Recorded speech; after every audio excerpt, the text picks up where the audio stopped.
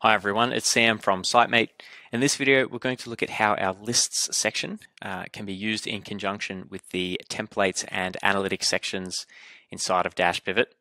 Now, the list section is designed to be the source of truth for things like lists of personnel or lists of uh, plant, cost codes, subcontractors, any of that. And what it allows us to do is we're going to refer to those lists from within any of our form templates that we set up in the template section. So as an example, we could have a drop down menu that refers to the values that are actually in this list and we can uh, use the same list in multiple uh, templates or multiple places within the same template because it's set up as a standardized list. And because it standardizes the way that we capture information, it allows us to find records faster using our register view and allows us to apply filters and breakdowns in the analytics section. So in this video, we're going to look at how all of this uh, works together as a system. And we're going to focus on our list of plant and equipment here. So in the list section, we already have a list of plant and equipment. If we open it up, we'll see that we already have a list of all of our equipment in here. Uh, we've even got properties for the serial numbers, when the next service is due, any service record attachments, things like that. Um, the way to set up other properties uh, is covered in a separate video. Uh, the main thing is that we already have a list created and it contains some list items already. So once that's set up, uh, we can then use that in our template section. So if we go to, for example, if we go to a site diary, uh, you can see that if we edit our site diary template, we're already using this list in our table that we're using to track plant hours. So if we scroll down, you can see we have a table here and you can see that it's called plant and the first column uh, is for selecting a piece of plant from a drop-down list. So you can see we're using a list here and it's linked to our plant and equipment list which has already been set up. This is great because we don't have to recreate a list of plant and equipment within this template. Instead, we're just going to refer to a list that we've already set up. And I just want to point out that we can actually use the uh, this list uh, in both list cells, like we're doing in this table, but we can also use it in a dedicated list field.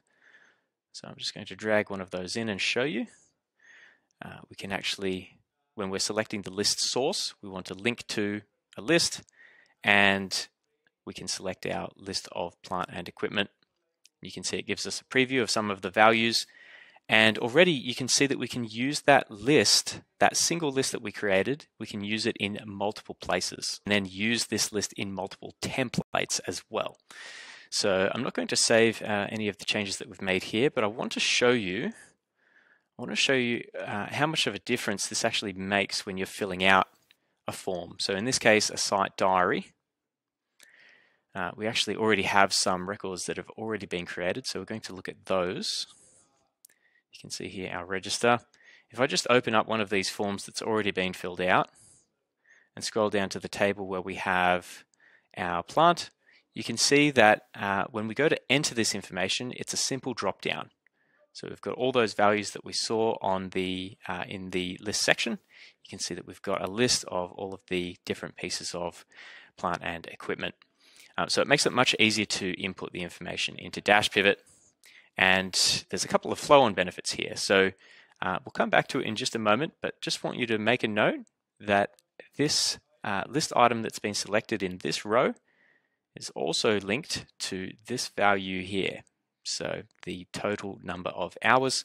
We have a formula set up so that it auto calculates the hours based on the start and finish time. But I just want you to note uh, for later that the list item is linked to this number.